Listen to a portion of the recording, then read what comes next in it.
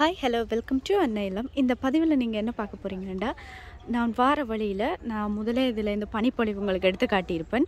அதே மாதிரி இங்கே பாருங்கள் பூக்கள் கொட்டி கிடக்குது. இதெல்லாம் நீங்கள் நிலத்தில் கொட்டி இருக்கிற பூன்னு தானே நினைக்கிறீங்க?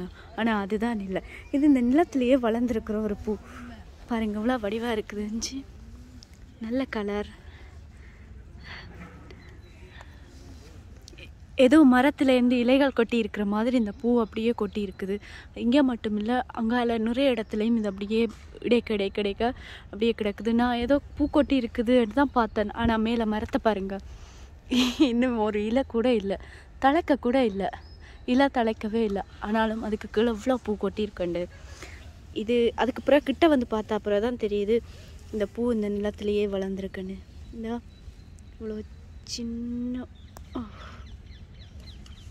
ஒரு தனியாக ஒரு பூ ஒரு இலை இல்லை ஒன்றும் இல்லை. தனியாக பூ மட்டும். இவ்வளோ வடிவாக இருக்குது தூரே இருந்து பார்க்கல பர்பிள் கலரில் நல்ல ஒரு மெல்லிய பர்பிள் கலரில் நல்ல கலரில் பூத்துருக்குது. தனியாக பூ மட்டும் வெளியில் வந்திருக்குது. இவ்வளோ வடிவாக இருக்குது பாருங்கள்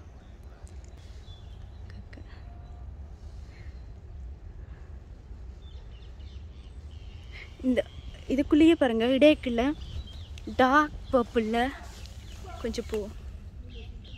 பக்கத்தில் லைட் பர்பிள் நல்ல கலர் இந்த கலர் பார்க்கவே நல்ல வடிவாக இருக்குது.